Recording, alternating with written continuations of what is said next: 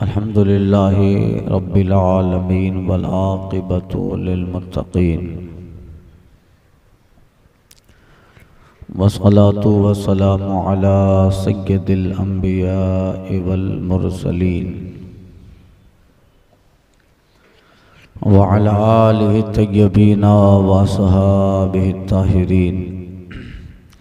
तय्यबीन व असहाबिहि ताहिरीन वलमाइ मिल्लतिहि व शुहदाइ महब्बतिहि व औलियाइ उम्मतिहि इला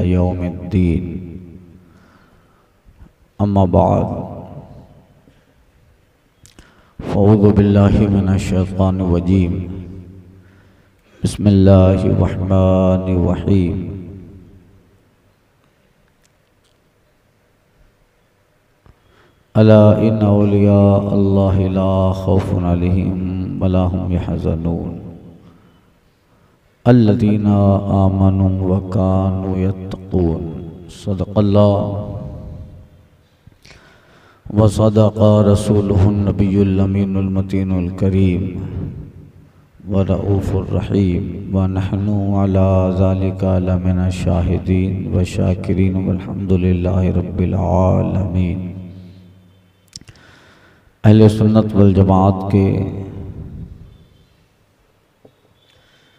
कदीम दस्तूर और मामूल के मुताबिक बारगाह हुजूर रहमतुल्लिल आलमीन, शफ़ीउल मुज़निबीन, अनीसुल गरीबीन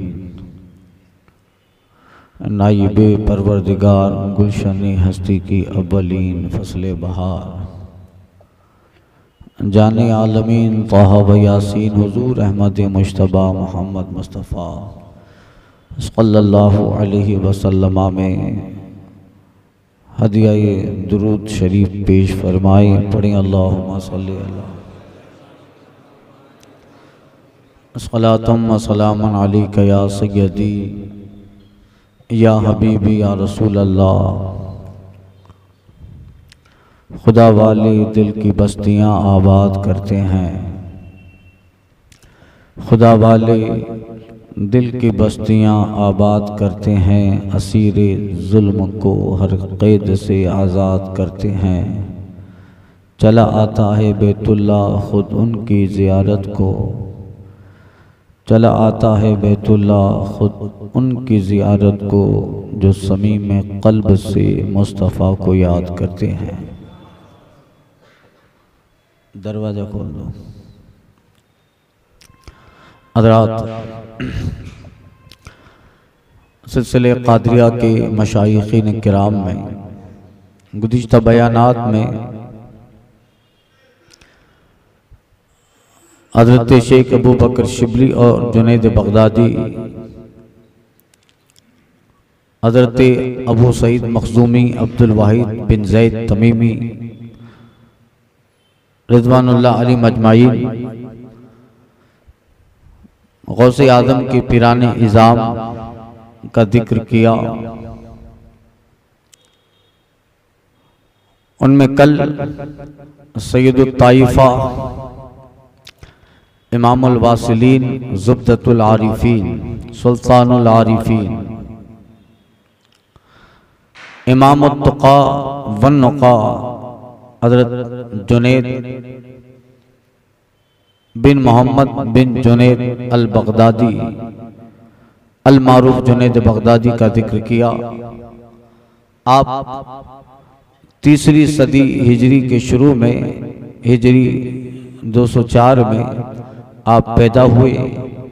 निहावंद के रहने वाले थे आपके वालिद हज़रत मोहम्मद बिन जुनेद, नकल मकानी करके बगदाद आए और फिर बगदाद में बसे और यहीं जुनेद बगदादी की विलादत हुई।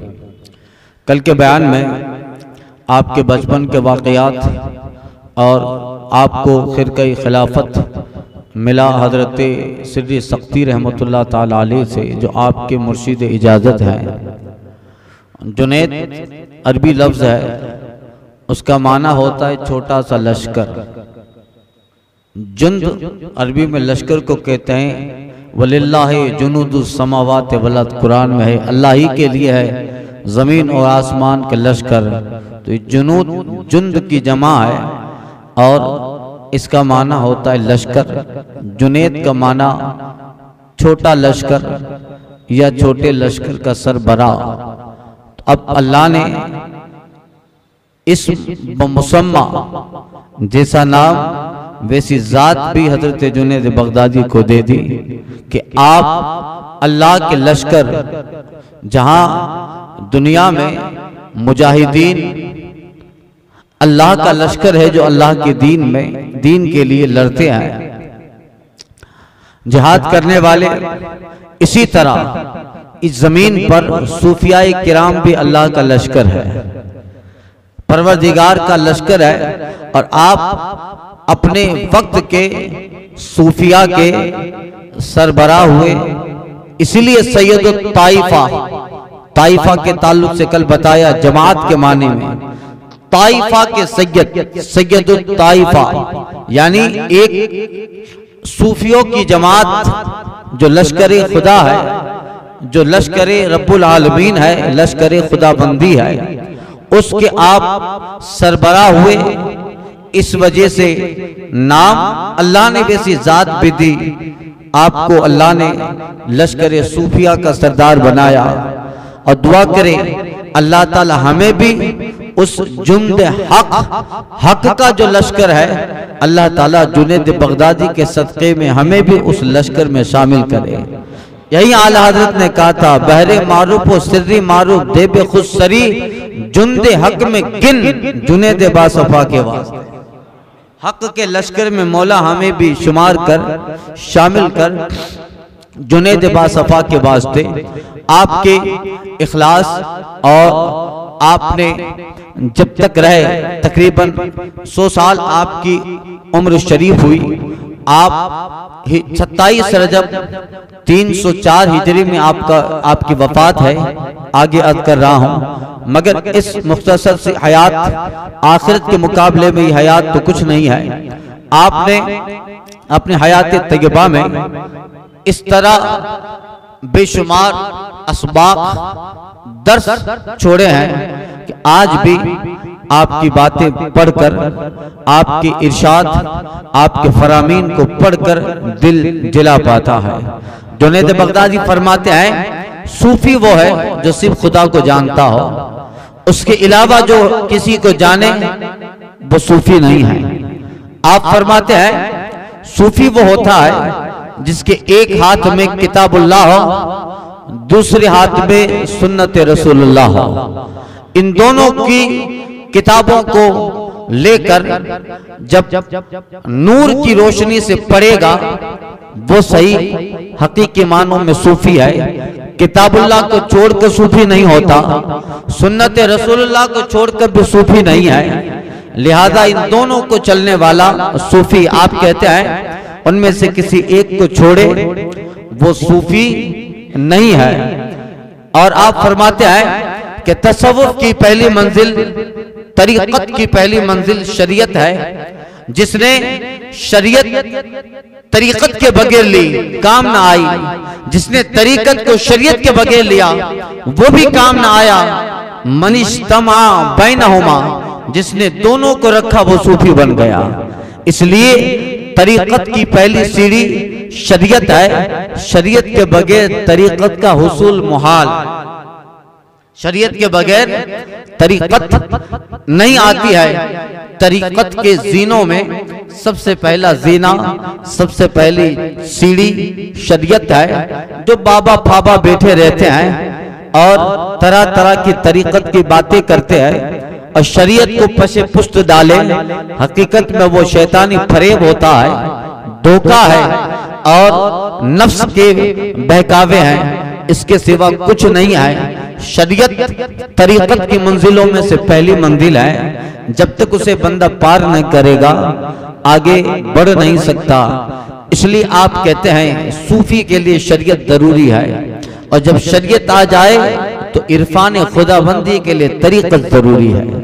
आप फरमाते हैं, हज़रत जुनेद बगदादी के जो अकवाल हैं, आपके इर्शादात, फरामीन, आपकी जो तालीमात है, और आपने वक्तन फवक्तन अपने दौर और सूफिया की बद्म में उन्हें जो तालीम करते तंबी करते, वो सारे अपने वक्त के सूफिया ने लिखा है। हज़रत जुनेद बगदादी उन मशाइ में है जिन्होंने एक साथ चार सौ ओलिया कामिलिन से मुलाकात ली और उनकी खिदमत में रहकर सोबत में रहकर इल्म, तरीक़त व मार्फत हासिल किया। इसलिए हज़रत श्री शक्ति आपके पीर और मुर्शिद हैं, मगर वो कहते हैं कि मैं वो पीर हूँ कि मेरा मुरीद मुझसे ज़्यादा मकाम वाला। ये हज़रत जुनेद बगदादी ताला इखलास और खुद को मिटाने का जो जज्बा था, आप फनाउल फना के दर्जे पर थे। अल्लाह के रब की बारगाह में पहुँचने के लिए कुछ सीढ़ियाँ हैं, दर्जे हैं। उसमें आखिरी दर्जा जो है, फनाउल फना है। रब की फना में भी बंदा फना हो। ये तस्वुर की बातें हैं। मुख्तर से तकरीब में हमारे छोटे से भेजे में आएगी भी नहीं। अल्फाज सुन लो सब बुज़ुर्गों के लफ्जों में भी तासीर है। आप फनाउल फना के दर्जे पर फाइज थे। इसलिए दुनिया में दुनियादार और इन सारी चीज़ों से आपको ताल्लुक न था जुनेद बगदादी कहते हैं, जब आपसे पूछा गया, आपकी नमाज़ कैसी है?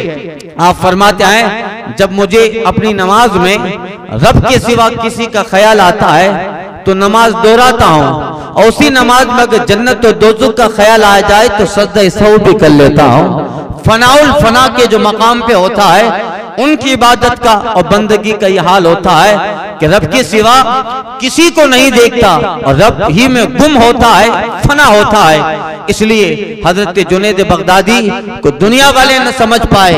आप को अहले दुनिया ने फतवे भी दिए बादशाह कल के वाकई में बता, बताया। बादशाह के दरबार में जाकर आपके ज़िक्र के खिलाफ आप हक और अल्लाह अल्लाह का जो ज़िक्र करते उस पर भी लोगों ने एतराज़ किया। दुनिया वाले समझ न पाए जबकि हज़रत जुनेद बगदादी उस मकाम पे फाइद हैं। आपको कल मैंने बताया आँखों में नमक डाल देते थे ताकि आँखें जलती रहें और जब आँखें जलेगी तो नींद ना आए। नींद ना आएगी बेदार रहेंगे, कुछ अरसे इस तरह करने से आपकी आँखों में मर्ज पैदा हो गया। तभी बुलाए गए बादशाह वक्त अब्बासी खलीफे का खलफा का दौर था, सल्तनत अब्बासिया का जमाना है। बादशाह वक्त को पता चला जुनेद बगदादी की तबीयत खराब है, आँखों का मर्द है, एक दरबार का शाही तबीब था, नसरानी, उसको हज़रत जुनेद बगदादी के पास भेजा। उसने आपकी आँखों का मुआयना किया देखा और फिर शाही तबीब कहता है, हज़रत, बेहतर है कि आप अपने आँखों पे पानी मत लगाना, वरना मज बढ़ेगा। जुनेद बगदादी मुस्कुराए, का बगैर पानी लगाए तो वज़ू ना होगा।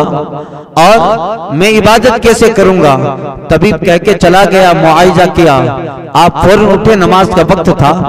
पानी लिया, वज़ू किया, आँखों पे पानी लगाया। रात को सोए, सुबह बेदार हुए। अल्लाह ताला ने बिल्कुल आँखें सालिम और तंदुरुस्त कर दी थी और ख्वाब में रसूल आदम सल्लल्लाहु अलैहि वसल्लम तशरीफ़ लाए और आका फरमाते, जुनैद, तुमने अल्लाह की इबादत के लिए आँखों की परवाह न की कि वज़ू करना है, मर्ज बड़े तो बड़े, मगर पानी ज़रूर लगाना है वज़ू करना है। अल्लाह को तेरी अदा पसंद आई।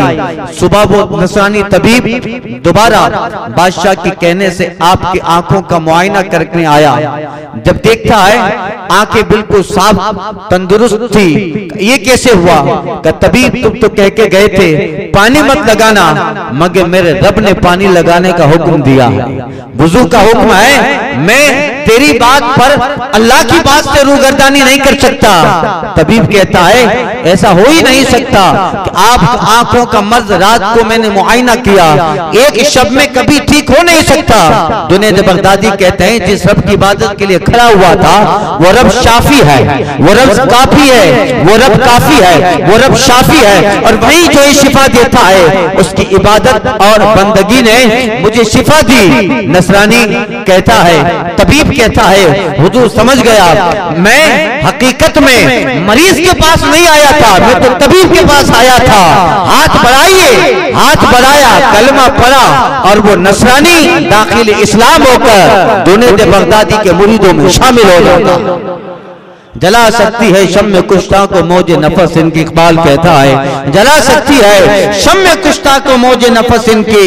इलाही क्या छुपा होता है अहले दिल के सीनों ये बुजुर्गान दीन सालीन हज़रत जुनेद बगदादी इसी तरह ज़िंदगी गुजारी हयात गुजार डाली।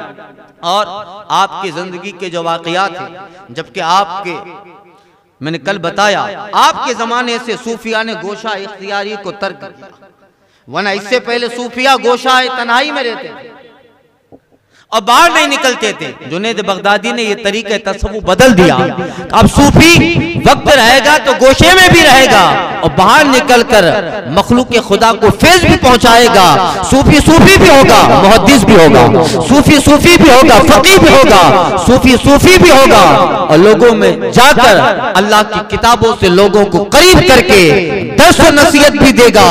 जुनेद बगदादी ने तसव्वुफ को ऐसा मोड़ दिया कि आपके पास जितने सूफी आए, वो सूफी भी हुए, साथ में आलिम रब्बानी भी हुए और इतने बड़े वाइज हुए कि जब खिताब होता तो उन सूफिया के असरार रमूज पढ़ के सुनकर लोगों के दिल की कायनात में इनकलाब पैदा सरकार बगदाद से बड़ा सूफी कौन?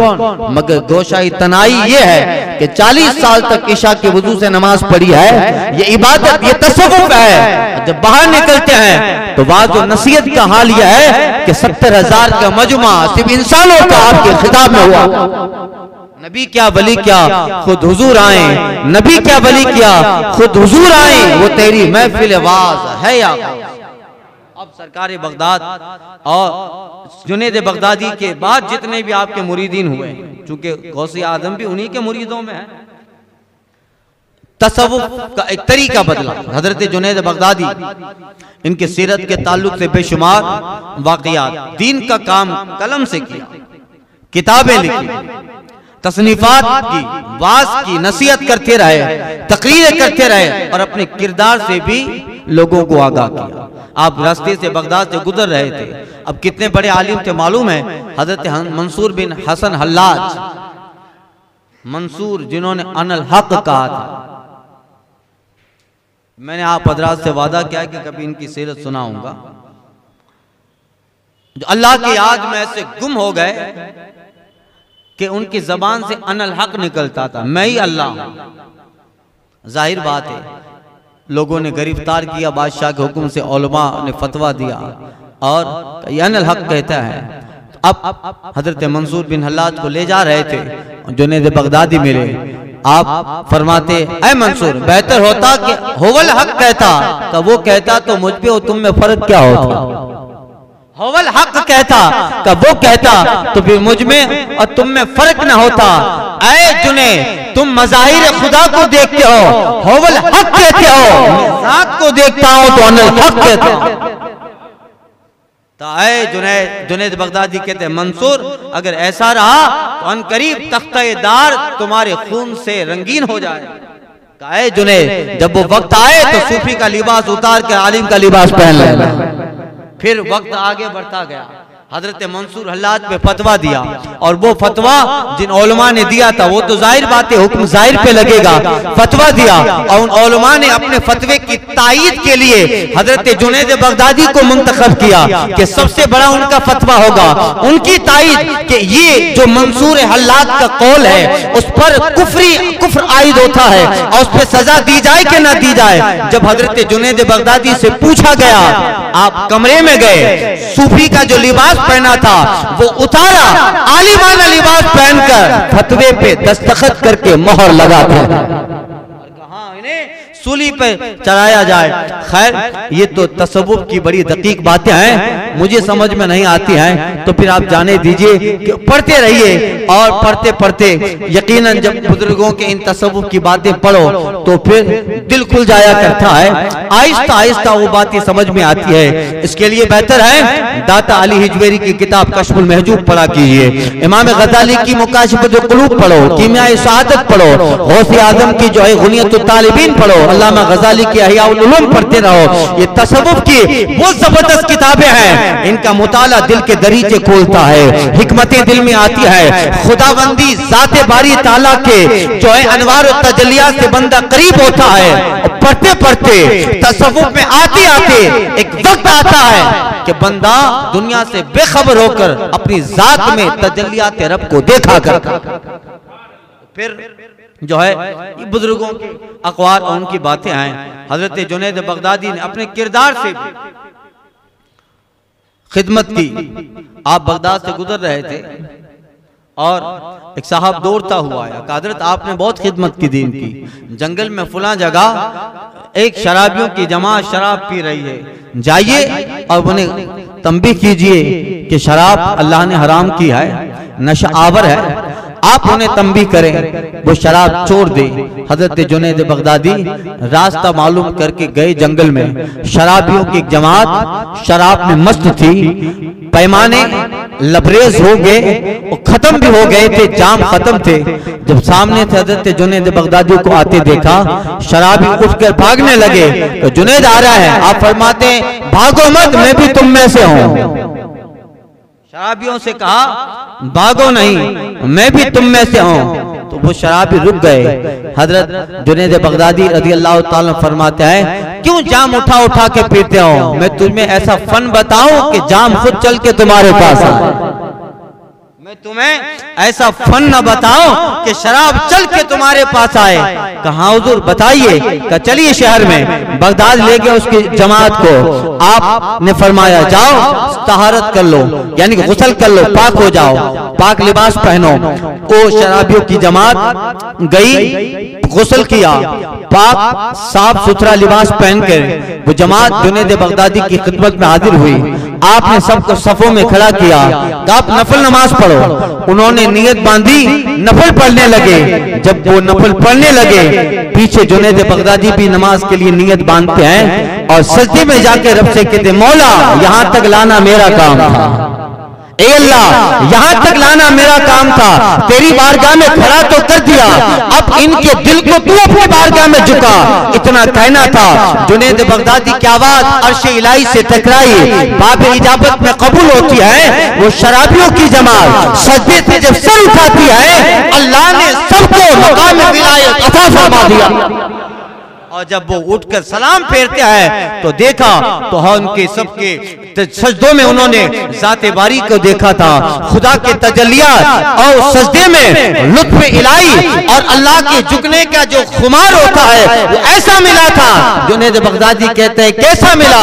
कहे, जुनेद, इसी शराब को हमने कभी पी नहीं।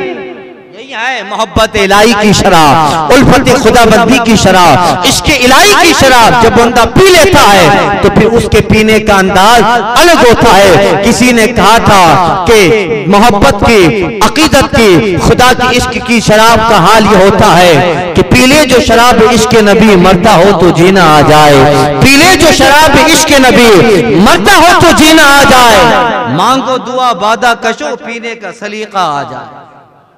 ये हाल होता है तो बंदा वो इश्क की वो मोहब्बत की जब शराब पी लेता है तो फिर उसका होश और वो दुनियावी होश से बेहोश होकर हकीकी होश में जाता। हज़रत जुनेद बगदादी की हयात इसी तरह। आपकी बेशुमार करामात और वाकयात। आप कहते हैं, मैंने मैंने अर्ज़ किया था कल के इखलास।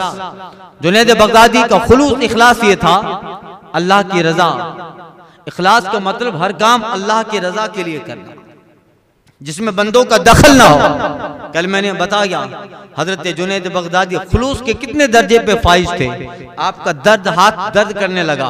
जब हाथ में दर्द हुआ सूर्य फातिहा पढ़ के हज़रत जुनेद बगदादी ने हाथ पे दम किया दर्द खत्म हो गया। फ़ौरन हाथी पे आवाज़ देती है। कैब की आवाज़ आई। जुनेद शर्म नहीं आती हमारा कलाम अपने नफ्स के लिए इस्तेमाल करता। इतना कहा, बेहोश हो गए। यानी खलूस के किस मकाम पे फाइज थे?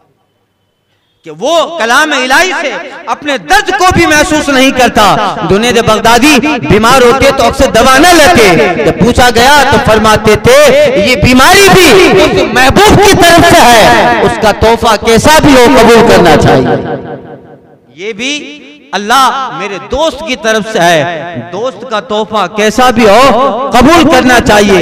अल्लाह अल्लाह, ये हज़रत जुने बगदादी कहते हैं, मैंने इखलास एक हजाम से सीखा। नाई, बाल बनाने वाला। कहते मैं हज के लिए गया और मुझे हल्क करवाना था, मगर मेरे पास कुछ पैसे नहीं थे, रकम नहीं थी। कि मैं हल्क करवाऊं। मैंने देखा एक नाई एक दौलतमंद का, एक अमीर का हल्क कर रहा है, बाल तरश तराश रहा है। मैं करीब गया और करीब जाके उस नाई से कहता हूँ, अल्लाह के लिए मेरे बाल तराश दोगे? अल्लाह के लिए मेरा हल्क करोगे? नाई फ़ौरन उस अमीर का सर छोड़कर मेरी खिदमत में लग गया। अमीर देखता रहा ऐसा क्यों? का तू बंदा है, इसने खाली के नाम पे मांगा है। उसने रब के नाम पे मांगा है। आपका हल्क हो गया। और उस नाई ने कुछ जो है, पुड़िया में कुछ चीज़ें थी खाने की, वो चंद चीज़ें हज़रत जुनेद बगदादी को दी। हज़रत जुनेद बगदादी कहते दिल में ख्याल आया कि बगैर उजरत कुछ था नहीं, हल्क करवाना है। मगर कभी अगर मौका मिला तो इसको हजामत की उजरत ज़रूर दे दूँगा। आप गए कुछ दिनों के बाद एक साहिब माल की तरफ़ से आपको कुछ रकम मिली। आपको याद आया, वही हरम में आए। वो जहाँ हल्क करते थे लोग हल्लाक, वो आए, उस नाई को तलाश किया और आकर कहते हैं कि, फुला दिन आपके पास, मैंने बाल कटवाए थे हल्क करवाया था। इसकी उजरत लेने आया हूँ। नाई कहता है, जुनेद बगदादी कहता है कि मैंने इखलास उससे सीखा। नाई से ने मुझसे कहा, ऐ जुनेद, शर्म नहीं आती? पहले अल्लाह के नाम पे काम करवाते हो, फिर उजरत देते हो। अल्लाह के नाम पर काम करवाते हो उजरत देते हो। तुम्हें अभी तक इखलास समझ में नहीं आया। इखलास का दर्जा यह है कि जो काम अल्लाह की रजा के लिए किया जाए, उससे दुनिया को तलब किया ही ना जाए। याद जाओ जुनेद मैंने तेरे बाल अल्लाह की रजा के लिए काटे हैं। अब वो जो सवाब मिला है तेरी उजरत से मैं जाए नहीं कर सकता। जुनैद बगदादी कहता है मुझे इखलास उस अजाम ने समझा डाला।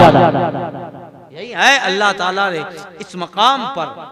हज़रत जुनेद बगदादी को फाइज फरमाया इस तरह के बेशुमार वाकयात खलूस और रजा अल्लाह की रजा के लिए बंदा अपने आप को कैसे वक्फ करे? आप बेशुमार सफ़र भी फरमाए। हज किया। सूफिया की जमात के साथ आपने असफार किए, सफ़र किए। और एक वक्त में 400 से ज़्यादा कामिलीन औलिया की सोबत इख्तियार की। आपने फ़िक्र पढ़ा, फ़िक्र शाफई सीखा। मज़हब शाफिया के एक बहुत बड़े फकी थे, शेख कलबी उनसे आपने फिर शाफी सीखा।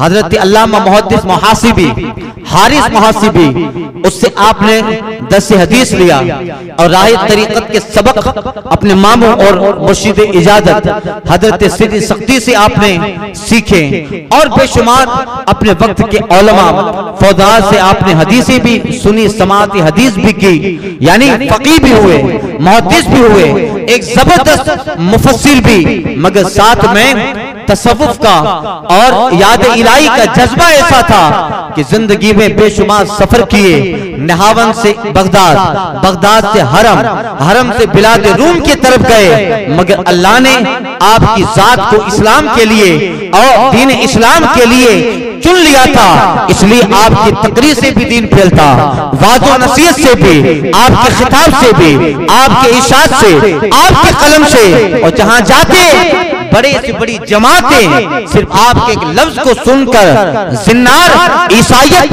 यहूदियत और कुफर की जंजीरें तोड़कर आप जात पे बैठ होकर दीन मोहम्मदी में दाखिल हो आप फरमाते हैं एक दिन मैं सफ़र के लिए गया और मेरा इरादा था कि हरम पहुंचूं और उम्र कर। पहुँचा। एक रास्ता ऐसा आया जो रास्ता मक्का की तरफ़ भी जाता था और बिलाद रूम की तरफ़, यानी विलायत रूम की तरफ़ जाता। मगर अजीब बात है, मैं अपनी ऊंटनी या जो सवारी थी, उसको मक्का की तरफ़ ले जाना चाहता हूँ। मेरे चाहने के बावजूद भी मेरी सवारी कुस्तुनतुनिया की तरफ़ जा रही। मैंने बहुत रोका, कोशिश की, मगर सवारी मक्का का रुख ही नहीं लेती है। मेरे कोशिश के बावजूद भी कुस्तुनतुनिया का सफ़र किया। खैर, मैंने समझा कुछ इशारा गैबी हो। चला गया कुस्तुनतुनिया की तरफ़। जब शहर में दाखिल हुआ तो एक बहुत बड़ा इज्तिहाम लगा था। बहुत बड़ा लोगों का मजमा लगा था। आगे गया, पूछा, मामला क्या है?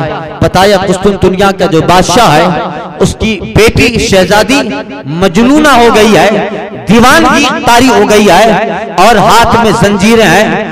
पाँव में जंजीर है, खोल दिया जाए तो नुकसान पहुँचाए। जुनून है, पागल हो गई है। का ठीक है, मैं इसका इलाज करवा सकता हूँ। ये वाकई की खबर मिली, उस औरत बादशाह की शहजादी को महल में ले जाया गया। और फिर बादशाह को खबर दी गई कोई अजनबी आया है, जो कहता है कि सारे तबीब इलाज की और कारगर साबित ना हुआ। एक अजनबी है, जो बड़ा वजी चेहरा रखता है और उसकी जात से अनवार तजलिया फूट पड़ रहे हैं। वो कहता है कि आपकी शहजादी का इलाज करेगा।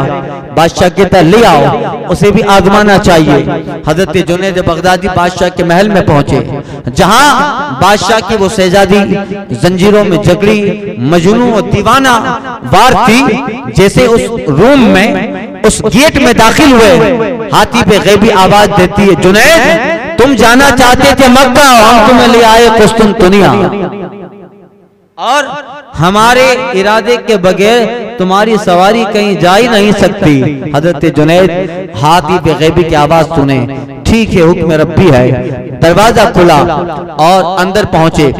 जैसे ही पहुँचते हैं तो देखा वो शहजादी जंजीरों में जकड़ी है। जुनेद बगदादी आगे चलकर उसका मुआयना किया देखा। कोई इलाज कोई दवा और कुछ ज़्यादा न बताया। उस मजनूना से कहते हैं बेटी, कलमा पर तेरा मर्ज खत्म हो जाएगा। उसने जुनेद बगदादी के लफ्ज पर कलमा पढ़ा। अशद वशद अन्ना मोहम्मदन ये पढ़ना था, उसके हाथों की जंजीरें टूट गई, पाँव की बेड़ियाँ टूट गई, और वो बिल्कुल पहले से ज़्यादा बेहतर हालत और तंदुरुस्ती में आ गए बादशाह और दरबारी ये देखकर हैरान हो गए। बादशाह करीब आया आने वाले अजनबी, आखिर कौन सी दवा इस्तेमाल की, जिससे इसका जुनून जाता रहा। जुनेद बगदादी कहते हैं, एक दवा ऐसी है जो मेरे रब ने सीनों पे उतारी है। वो शिफा ऐसी है, जिससे बेहतर कोई शिफा नहीं है। बादशाह कहता है, वो दवा मुझे भी पिला। जुनेद बगदादी कहते पढ़ ले मोहम्मद रसूलुल्लाह। इतना कहना था, बादशाह ने कलमा पढ़ा, ये वाकया शेर में फैला। फैलते फैलते हाल हुआ, हज़ारों लोग आए, कलमा पढ़कर दाखिल दिल भी है। जुनेद बगदादी के हाथ के मुरीदों पर दाखिल इस्लाम जला सकती है शम कुश्ता को।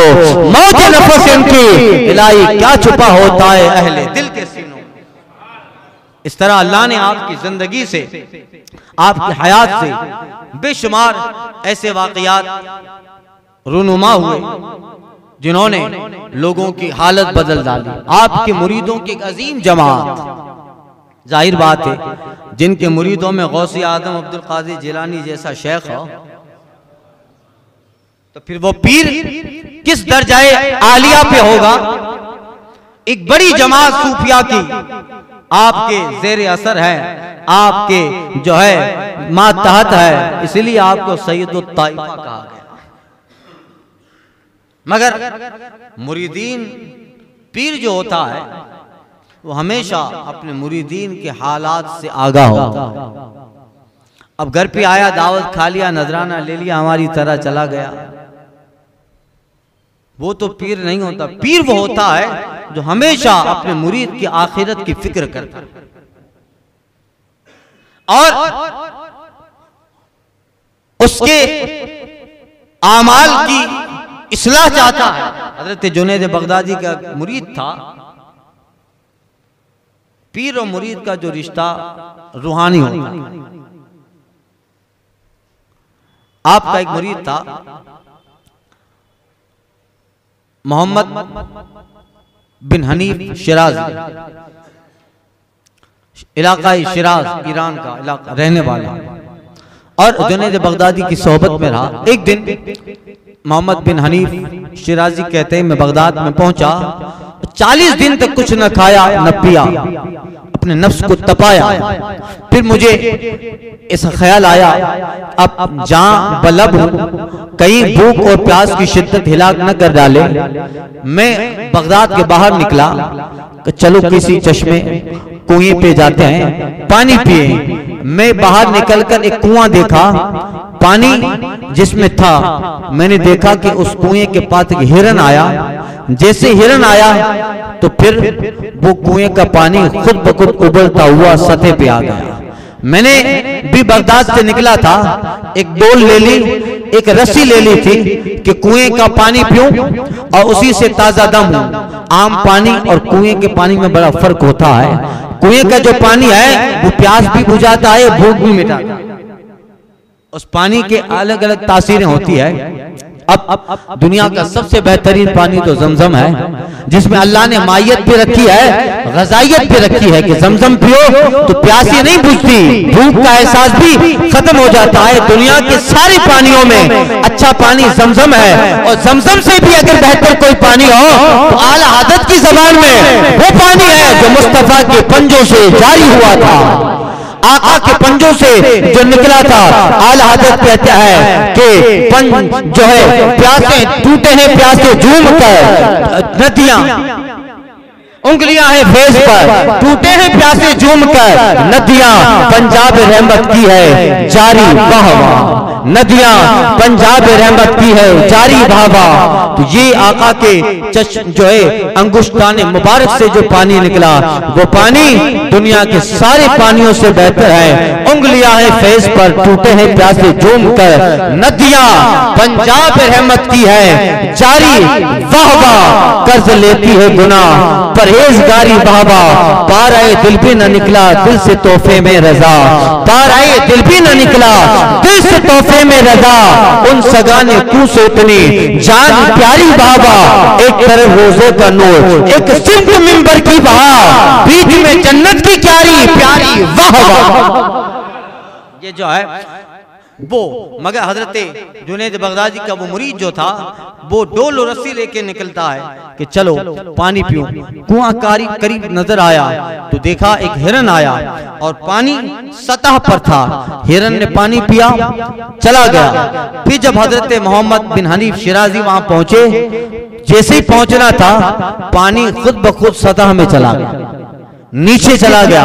हज़रत मोहम्मद बिन हनीफ शिराजी कहते हैं दुआ की, ए बारे इलाहा, क्या मेरा मकाम इस हिरस से भी कम है इसके लिए तो पानी ऊपर आए, मगर मेरे लिए पानी ऊपर ना आए, नीचे चला जाए, क्या मेरा मकाम इस हिरन से भी कम है? हाथी से आवाज़ आती है ऐ बंदा खुदा, तू डोल रस्सी के सहारे आया था, हिरन हमारे सहारे आया। तो डोल रस्सी के सहारे था हिरन हमारे सहारे था और जो हमारे सहारे आता है हम अपनी रास्ते में कभी उसे थकाते नहीं है। इतना कहना था दिल के सारे दरवाजे खुले दो रकात नमाज़ नफल पढ़ते हैं। तोबा कहते हैं मौला मैंने दुनिया में तवक्कुल के खिलाफ किया। मेरा सहारा डोल रस्सी पे नहीं तेरी जात पे होना चाहिए। तोबा किए नमाज़ से फारिग हुए। क्या देखा कुएँ का पानी उबलता हुआ सतह मुंडेर फिरा। आप जो है पानी पीने लगे, पानी में लौटने लगे और इस कदर जो है पानी ऊपर आया, आराम से पिया और अपनी प्यास बुझाई। और दूसरे दिन बगदाद में हज़रत जुनेद बगदादी की बारगाह में पहुँचे। ये वाकया इधर हो रहा है, ये तनहा है। दूसरे दिन जुनेद बगदादी की बारगाह में पहुँचे। जैसे ही पहुँचे, इससे पहले कि हज़रत अब्दुल्ला बिन हनीफ शिराजी अपना हाल बयान करें। उनके पहुँचने से वक्त, उनके कहने से पहले जुनेद बगदादी कहते हैं अब्दुल्ला ए मोहम्मद बिन हनी वहाँ ठहरे नहीं अगर और दिन ठहर जाते तो पानी में नहा जाते और ज़्यादा ठहरते तो बगदाद तक पानी भी तेरे पीछे पीछे आता। यानी वो पीर होता है कि मुरीद का वाकया कहाँ भी हो रहा है मगर पीर अपने मुरीद के हालात से बाखबर। ये होता है अल्लाह ताला ने हज़रत जुनेद बगदादी को वो कमाल दिया था तस्किया नफ्स किया गया तस्किया अपने मुरीद चाहे सामने हो चाहे गायब हो। ईरान के इलाकों में गालिब आपका एक मुरीद एक वज़ीर की या एक मालदार की कनीज पे फिदा हो गया। वो आबिद था जाहिद था मगर हुस्न का फितना बड़ा खतरनाक है। हुस्न का फितना बड़ा खतरनाक है इसीलिए बाज़ार को दुनिया की सबसे बदतरीन जगह बताया गया। शर्रुल अमकिना अल असबा दुनिया की सबसे बदतरीन जगह बाज़ार है जहाँ पे नज़रों पे हया नहीं रहती पाबंदी नहीं रहती तरह तरह के गलत नजारे हैं। वो खैरुल अमकिनतिल मसाजिद दुनिया की सबसे बेहतरीन जगह अल्लाह के लिए तामीर की हुई मस्जिदें। हैं दुनिया की बेहतरीन जगह और बाजारों में भी नजारे होते हैं। और हला जो है हया और शर्म का कुछ पास नहीं रहता। और तकवा भी तार तार होता है। खैर, जब वो जुनेद बगदादी रज़ी अल्लाह तआला का मुरीद, उस कनीस को एक बार देख ही लिया, जैसे देखना था उनका चेहरा सिया हो गया। आपके मुरीद का चेहरा सिया हो गया। अब वो परेशान हुए, तोबा की, ए मौला, मैंने जो है, तेरे कानून और शरीयत की पासदारी को हदूद शरीयत से तजावुज कर गया।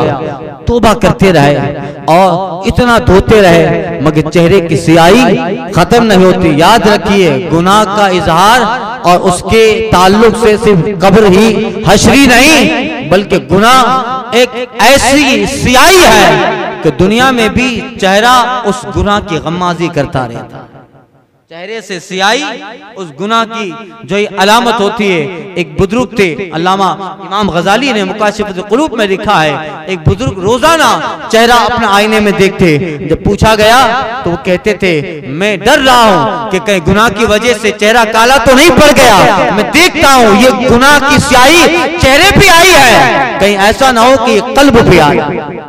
ये दिल पे आ जाए। जब ये दिल पे आ जाए तो मामला बिगड़ जाता है। इसलिए गुनाहों की स्याही चेहरे से नबूदार होती है और उससे दिल भी काला होता है। आका की हदीस का मफहम है, बंदा जब गुनाह करता है एक राई के दाने के बराबर छोटा सा काला धब्बा उसके कल्ब पे पड़ जाता है, फिर वो गुनाह करता है, फिर एक धब्बा पड़ गया। होते होते गुनाहों की मासियत की, नाफरमानी की कसरत से धब्बा होते होते दिल इस कदर काला होता है कि फिर जगह ही नहीं रहती। मुकम्मल दिल सिया हो जाता है। और सूफिया कहते हैं, उस दिल के सिया होने का मतलब है, अब हिकमतों का दरवाज़ा बंद हो चुका। उस सिया के दिल के सिया काला होने का मतलब यह है कि अब उसका दरवाज़ा बंद हो चुका है। अब नसीहत के अंदर जा नहीं सकती, रमूज अंदर जा नहीं सकते। और दिल का काला, जिस्म को काला करता है। वही दिल का काला पर कब्र को भी काला करेगा, हशर को भी काला कर देता है। इसलिए सूफिया हमेशा दिल की बात माना करते थे और अपने दिल को पाक रखा करते थे। ये दिल अल्लाह की तजलियों की जगह है। ये दिल अनवार इलाही की जगह है। इसलिए मौलाना रूम ने कहा था, दिल बदस्त आर के हज अकबर किसी मुसलमान का दिल राज़ी कर, ये दिल मुसलमान का राज़ी करना हज अकबर है। आ, यानी काबा, तामीर खलील दिल गुजर गाए रब्बे जलील इसलिए कि काबा तो तामीर खलील है और दिल जलील के तजलियों की आमाज गा। अल्लाह के तजलियों का नजूल इस दिल पे होता है। वो तामीर खलील है, ये तामीर रब जलील है। इसलिए ये दिल जो है, बड़ा जिस्म का वो हिस्सा है कि वो सही तो जिस्म सही, वो बिगड़ा तो जिस्म बिगड़ा। और अगर वो शरारत करे तो फिर आखिरत बिगड़ जाती इसलिए दिल को हमेशा साफ़ बनाओ। हज़रत हसन बसरी कहते हैं कि मैंने रजाई इलाही का फार्मूला धोबन से सीख लिया। मैंने मोहब्बत एक धोबन से सीख ली। दिल में सिर्फ़ यार की मोहब्बत हो, अगियार की ना हो। जब इस दिल में मोहब्बत की अगियार आती है तो रहमत यार उस दिल से चली जाती है। ये दिल तो यार का मेहमान खाना है। दिल यार का मेहमान खाना है। जब इसमें अगियार आता है, हज़रत हसन बसरी कहते हैं, कुरान में तो है इस दिल में सिर्फ़ अल्लाह की मोहब्बत हो। कुरान में अल्लाह फरमाता है मैं युशरिक बिल्लाह शया पूरी जो है, मजमून है कुरान में कि जो अशर के मैदान में रब के सिवा किसी और की मोहब्बत लेके आया। ये दिल में सिर्फ़ रब की मोहब्बत है। इसके अंदर रब के सिवा किसी और की मोहब्बत होगी तो फिर ये दिल फेंक दिया जाएगा। इस मेहमान खाने में सिर्फ़ यार ही रहे हसन बसरी कहते हैं एक शब्द में अपने मकान की छत पे तिलावत कुरान करता था और मुझे सामने एक धोबी और धोबन का मकान था। और मुझे उनसे मोहब्बत का फलसफा मिल गया। कहते हैं मैं कुरान पढ़ता था और पढ़ते पढ़ते सामने देखा कि कुछ आवाज़ आई शोर गुल हुआ। मैंने सोचा क्या है? अंदर मियाँ बीवी जगड़ते हैं आगे गया और दरवाजे पे कान लगाए अंदर से आवाज़ आई धोबन अपने शोर धोबी से कह रही थी देखो मिया तुम खर्चा नहीं देते चला लिया। जुल्म करते हो चला लिया। बगैर कसूर के मार पीट करते हो वो भी कबूल है। और अपने घर में ध्यान नहीं देते वो भी कबूल है। रोज़ाना तरह तरह के जुल्म और तुम्हारी तरह तरह की बातें दिल को परेशान के सब कबूल है। और आइंदा भी तुम्हारा जुल्म सहने की ताकत है कबूल है। मगर सुना है कि तुम्हारे दिल में मेरे सिवा कोई और है? धोबन अपने शोर से कहती है सुनाए तुम्हारे दिल में मेरे सिवा कोई और है ये कबूल ना होगा। ये कबूल न होगा। हसन बसरी कहता है, ये मामला सुन के मैं आया। कुरान शरीफ खोला, उसी आयत में नज़र पड़ी, जिसमें रब फरमाता है कि जो हमारे लिए, हमारी बारगाह में, हमारे सिवा किसी और की मोहब्बत दिल में लेके आएगा, यानी शिरक करके आएगा, खुदा के अलावा किसी और को पूछ के आएगा, वो दिल कबूल न होगा। अलयोमा लायन मालूम बला बनूल इल्ला बिकल्बिन सलीम आज के दिन माल असबाब दौलत औलाद कुछ काम ना आए। ए बंदा हमारी बारगाह में आ कल्बे सलीम ने किया सवरा हुआ दिल ने किया आएगा वो दिल ही तेरा जन्नत की जेबो जीनत बन जाए। संवरा हुआ दिल लेके आ अगर ये दिल सिर्फ़ हमारी मोहब्बत का मरकज बना के आया है, इसका महवर सिर्फ़ मोहब्बत इलाही और मोहब्बत रसूल थे और इस दिल में अल्लाह उसके रसूल के सिवा कोई न बसाता ये यार का मेहखाना ये यार का तहखाना, ये यार का मेहमान खाना है, जिसने इसको यार के लिए साफ़ कर दिया। यकीन करे, अल्लाह उसके लिए जन्नत के दरवाजे खोलता जाए। दिल पे हर वक्त दिलदार की नज़र रहती है। दिल पे हर वक्त दिलदार की नज़र रहती है। उनकी सरकार में कुछ भी नहीं नीयत के सिवा। उनकी सरकार में कुछ भी नहीं नीयत के सिवा। इसलिए ये दिल मोहब्बत की आमाज गाह है। इसीलिए आला हज़रत ने यही फलसफा पेश किया था कि दिल है वो दिल जो तेरी याद से मामूर या रसूल अल्लाह दिल है वो दिल है वो दिल जो तेरी याद से मामूल रहा। सर है वो सर जो तेरे कदमों पे कुर्बान गया।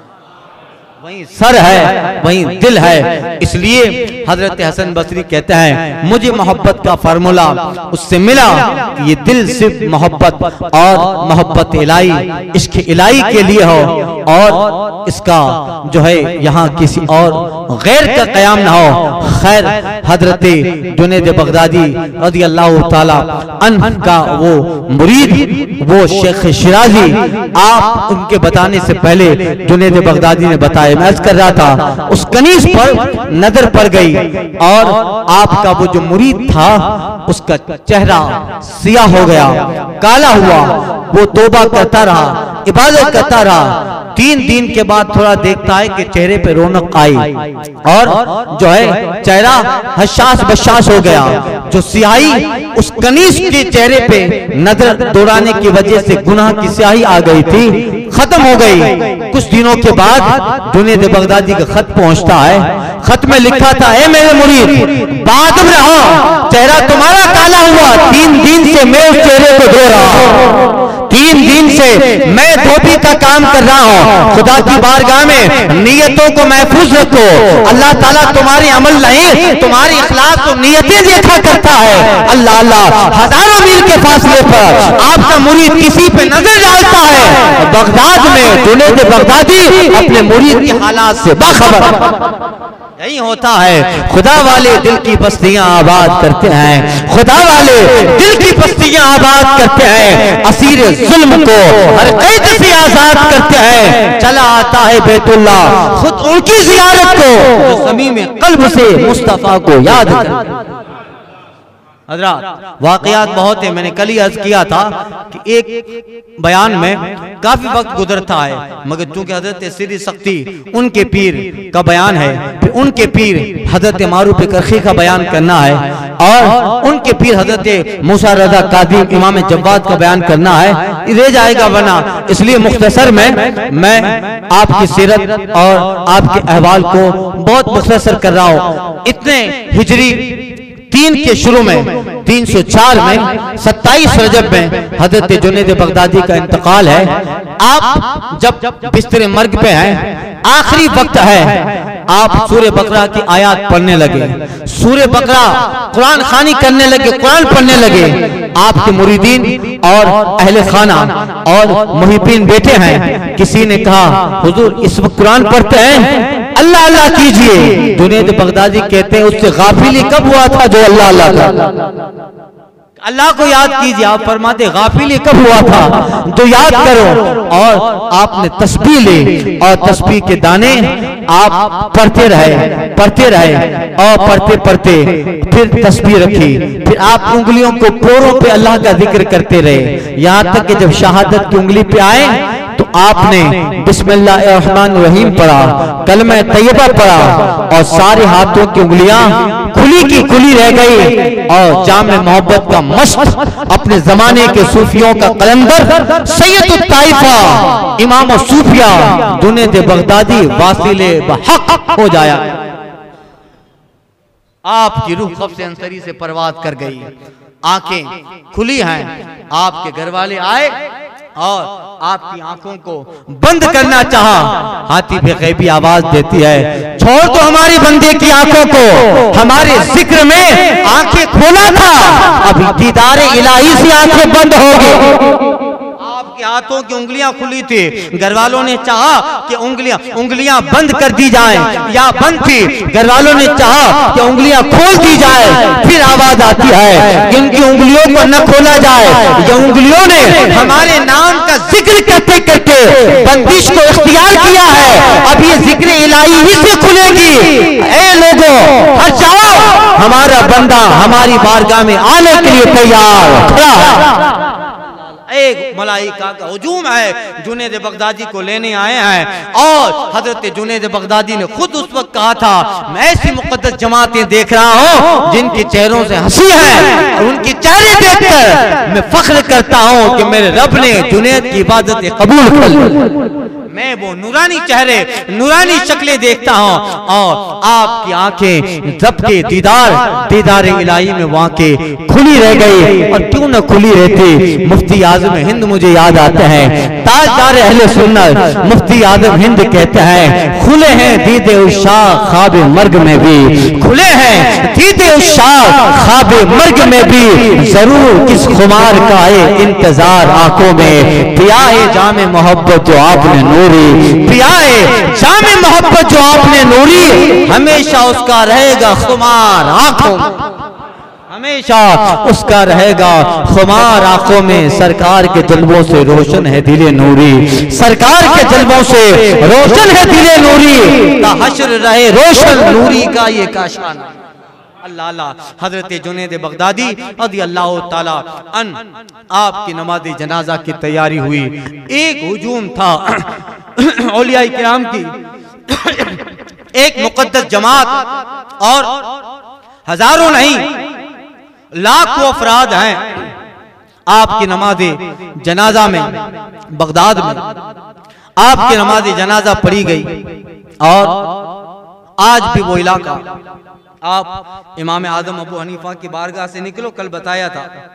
और वहाँ अगर आप काबे की तरफ़ खड़े हो तो आपके राइट साइड कुछ दूरी पर बहुत बड़ा बाज़ार नज़र आएगा।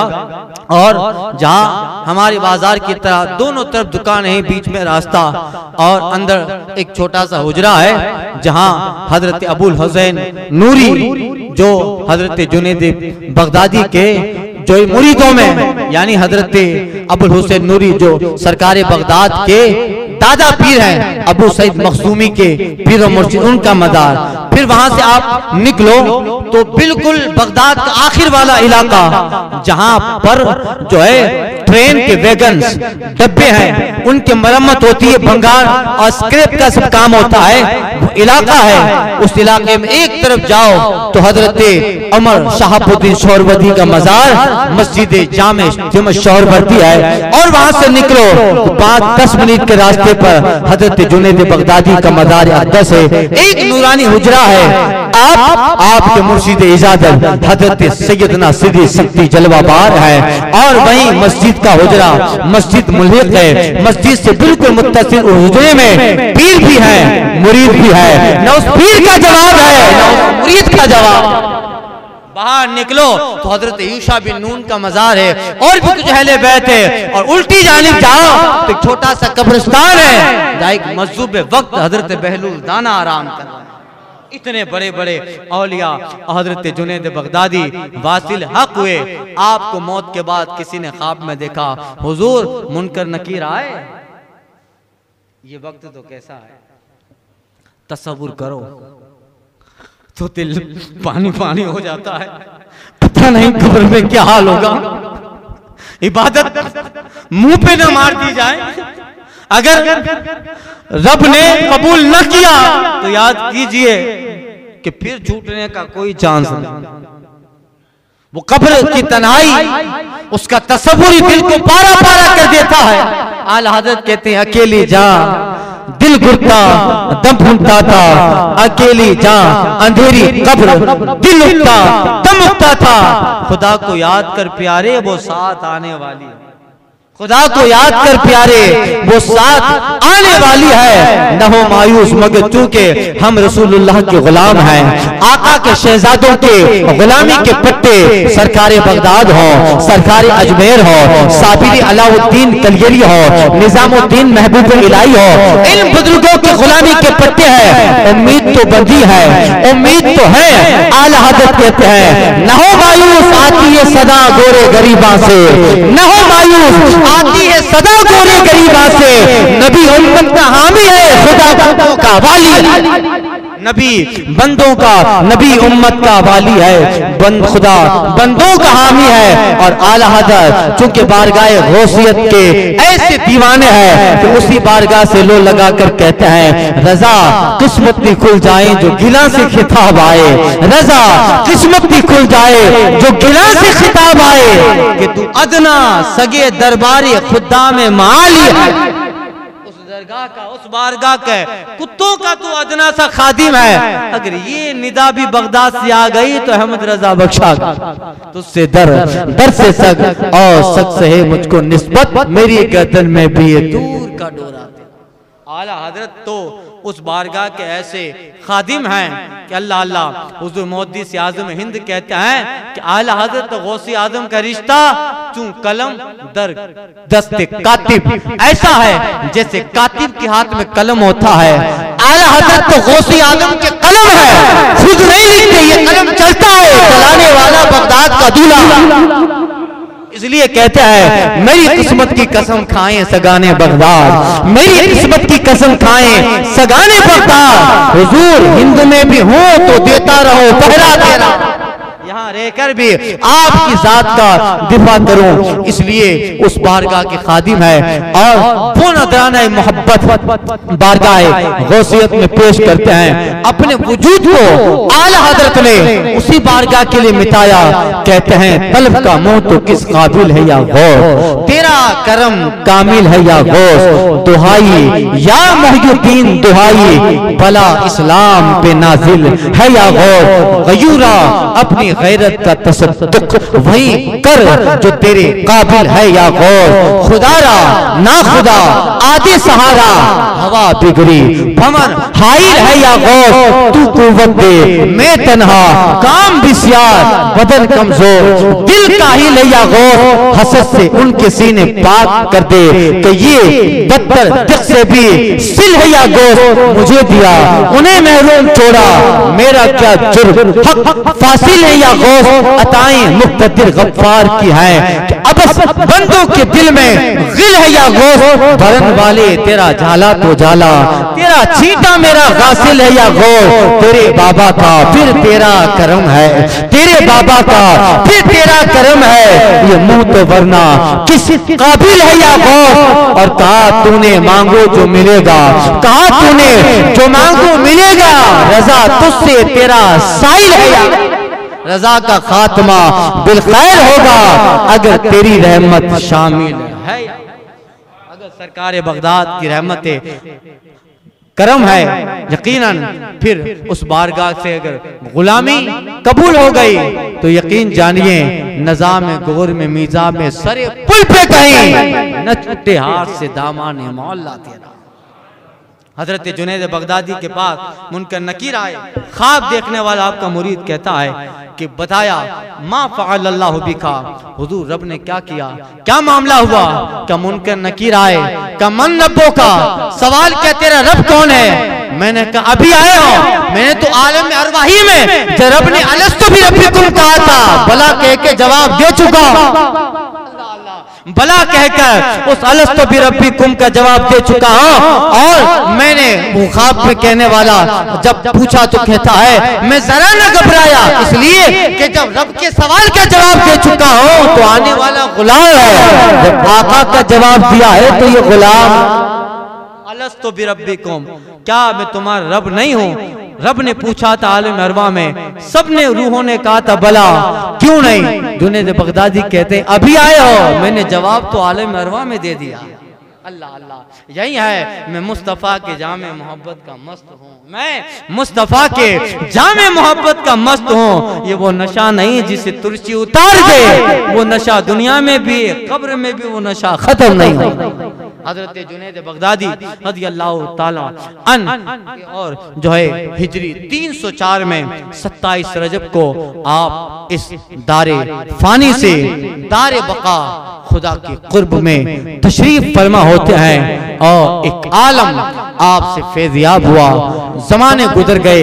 ये चौदहवीं पंद्रहवीं सदी का आगाज़ निस्फ होने को है पंद्रहवीं सदी। और आप चौथी सदी ग्यारह सौ साल का तकरीबन फासला हुआ। मगर आज भी आपकी नूरानियतें जमाने को मुनवर कर रही है। आपके तसवुफ का वो चराग आज भी दुनिया में लोगों की बज्म और खानकाहों मदारिस को रोशन रखे हुए हैं। अबरे करम उनके मरकज पे गोहर बारी करे। हशर तक शान करीमी नाज बरदारी करे। हज़ारों रहमतें हो। ए जुनेद हक तुझ पर। फना के बाद भी बाकी है शान रहबरी तेरी। सबा वो चले के बागो फले। वो फूल खिले के दिन हो भले लेवा के तले सना में खुले। रजा की जबा तुम्हारे लिए।